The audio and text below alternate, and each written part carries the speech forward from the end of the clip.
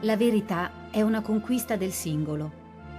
La verità non può che suscitare, nell'intimo di colui che ascolta, se è maturo, un riscontro di certezza. L'uomo si attende dalla verità un apporto esterno, verità uomo. Invece la legge prevede verità intimo dell'uomo. Nei riguardi degli altri non dobbiamo mai agire come se la nostra sola fosse la verità, ma nei riguardi di noi stessi dobbiamo agire come se lo fosse.